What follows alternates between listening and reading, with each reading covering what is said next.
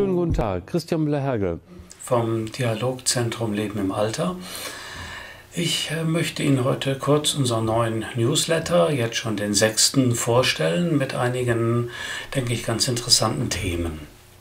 Ja, ähm, in der ersten kleinen Sammlung von Studien geht es um Covid-19, wie kann es anders sein? Am Anfang hat man ja sehr befürchtet, dass es den Menschen sehr schlecht gehen wird, vor allen Dingen dann, wenn sie Demenz haben. Dem hat sich aber, äh, das hat sich aber anders dargestellt. Also wenn sie in eigener Häuslichkeit leben, dann geht es ihnen eigentlich nicht besser und nicht schlechter als anderen, anderen als anderen, als allen anderen auch. Ähm, anders sieht das für Angehörige aus. Die haben schon durch den Ausfall der vielen Hilfen, äh, insbesondere von Tagespflegen und niedrigschwelligen Angeboten, äh, eine erhebliche Mehrbelastung zu tragen.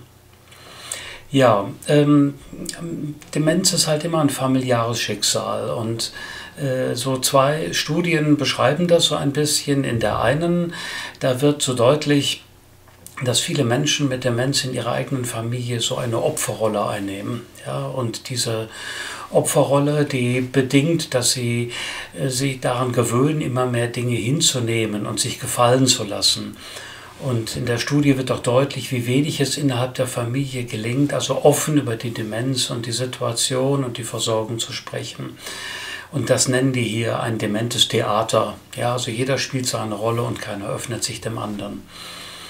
Eine andere ähm, Studie, die ähm, unterstreicht nochmal, äh, dass gerade bei äh, Menschen, die eher in jüngeren Jahren von Demenz betroffen sind, es sowas wie einen integrierenden Dienst geben müsste, um Behördenzuständigkeiten zu koordinieren und zu integrieren. Also zum Beispiel, wenn da noch ein Kind ist in einer Familie, ja, da muss ja auch die Schule darüber informiert werden, das Jugendamt muss darüber informiert werden. Und viele dieser Institutionen sind in Bezug auf Demenz nicht besonders gut aufgestellt oder wissen nicht wirklich, äh, worum es sich da handelt. Ja, besonders Kinder sind die stillen Leidtragenden. Ähm, es wird ja immer die eigene Häuslichkeit als die bevorzugte Lebensform äh, so dargestellt, aber es leben immer mehr Menschen auch mit ihrer Demenz alleine, nicht? Äh, und dann wird das Selbstmanagement sehr schwierig. Das heißt also, den Alltag zu organisieren wird immer ähm, schwieriger, sich aufzuraffen und Dinge zu organisieren und ähm, Absprachen einzuhalten. Und das alles noch zusammenzuhalten, wird dann für einen alleinlebende Menschen mit Demenz zum größten Stressor. Ja, ähm, Sie kennen das ja, Menschen mit Demenz, die wollen immer gerne nach Hause. Und das Zuhause, das ist so eine Art Seelenthema, um das ganz viele Emotionen kreisen. Und dieses Zuhause, das ist so ein Zwischenort, wo man nicht mal so genau weiß, was das eigentlich ist. Und das kommt und geht. Also manchmal fühlen sich die Menschen mehr oder weniger zu Hause. Und am ehesten gelingt das, wenn sie aktiv mit anderen Mitarbeitern zusammen etwas tun. Also das gleichzeitig gemeinsame Tätigsein ist eine Möglichkeit, zu Hause zu schaffen. Das wird dann noch in einer weiteren Studie äh, beschrieben, also der, die Aufrechterhaltung eines Flusses fortlaufender alltäglicher Aktivitäten, also ein müheloses, kontinuierliches, anstrengungsloses Zusammensein im Alltag. Das ist oft ein Therapeutikum, das Pflege leisten kann und das Menschen mit Demenz und wahrscheinlich nicht nur denen sehr gut tut. Das gelingt oft deswegen nicht, weil man zu wenig Zeit hat, die Pflege zu personalisieren, sondern man ist eher mit funktionalen Aufgaben befasst. Warum ist das so? Nun, klar, das ist die Ökonomisierung. Darüber dann die Studie Nummer 7. Ja, ähm, da wird beschrieben, wie im Rahmen einer supervisorischen Begle Begleitung in Schweden den Mitarbeitern immer deutlicher wird, ähm, dass sie so, sag mal, die Dinge, die eigentlich für sie am wichtigsten sind, immer mehr an den pflegerischen Unterbau, so nennen die das, delegieren. Und das kommunikative Nebenbei, das wird immer mehr wegrationalisiert. Es kommt also zum Verlust ähm, oder ja, ähm, zum Verlust des Humanen, so, so nennen die das. Ne? In dem Zusammenhang finden Sie in dem Editorial auch noch so eine kleine Stellungnahme äh, zu dem äh, ja, angebotenen Personalbemessungsinstrument. Da geht es ja immer noch darum, dass man glaubt, Tätigkeiten in der Pflege so in Einzelteile zergliedern, aufspalten zu können und äh, diese Teile dann auch mit bestimmten Qualifizierungserfordernissen zu versehen, um das Ganze dann wieder zusammenzusetzen, um daraus äh, dann letztlich sowas wie eine Personalbemessung äh, zu entwickeln. Und die Anmerkungen im ersten Teil des Editorials äh, beziehen sich relativ kritisch auf diesen Versuch. Gut, eine weitere Studie so aus den Niederlanden, ähm, die untersucht, so wie äh, unterschiedliche Dienste dem Verhalten von Menschen mit Demenz einen Sinn abzugewinnen versuchen. Und es sind vor allen Dingen wohl Pflegende und Angehörige, die das tun. Ärzte tun das nicht.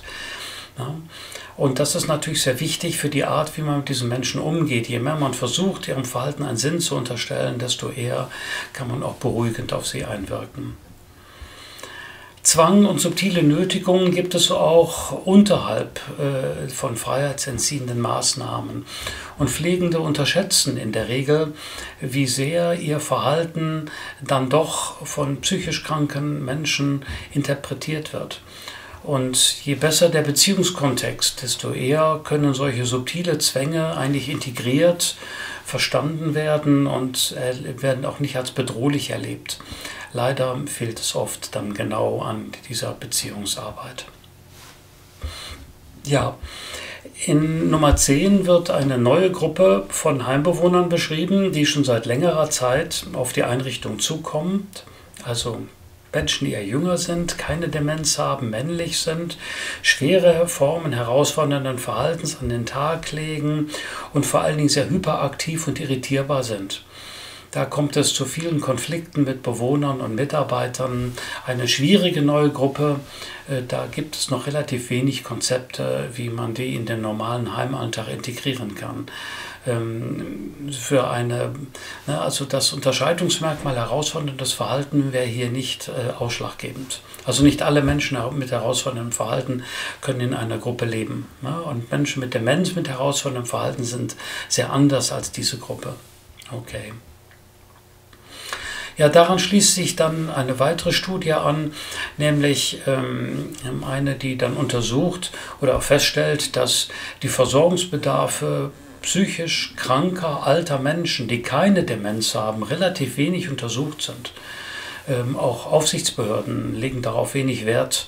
Ähm, und ähm, viele Maßnahmen kreisen eher um das Somatische und äh, das Psychische erfordert sehr viel Zeit und das wird in der Regel einmal zu wenig abgebildet und auch zu wenig berücksichtigt ja, Mitarbeiter Versuchende dann schon einiges in Beziehungsaufbau und Tagesstrukturierung zu investieren, aber viel zu wenig. In den Niederlanden setzt man inzwischen ältere Freiwillige als Peer Support ein. Nun ja, wenn es hilft. Über den Hörverlust haben wir schon ein paar Mal berichtet. Auch hier wird wieder deutlich, also ähm, der Hörverlust betrifft quasi nicht nur die auditive Ebene, sondern äh, komplexe Handlungs- und Verstehensebene, insbesondere die Exekutivfunktionen. Also Dinge zu planen, durchzuführen, zu beenden, zu kontrollieren, abzuschließen, was Neues zu beginnen. Ja, diese Dinge, die äh, sowohl im Verstehen wie auch im Handeln, die sind sehr stark betroffen, wenn Menschen einen Hörverlust erleiden. Und ähm, eine Hörhilfe ist zwar gut, reicht aber nicht. Die Menschen brauchen etwas längere Begleitung, damit sie mit den Hörhilfen auch gut klarkommen. Drei kleinere Studien sozusagen als Bonbons ja, runden das Ganze ab. Äh, eine kleine zu Gärten, ne? also Gärten laden zum entspannten, sinnhaften und anstrengungslosen Verweilen ein. Da gibt es ein paar Infos zu. Dann Möglichkeiten der Kunst, nicht als Kunsttherapie, sondern künstlerische Möglichkeiten, um im Grunde genommen den Beziehungsaufbau in der Pflege zu unterstützen. Schauen Sie mal rein.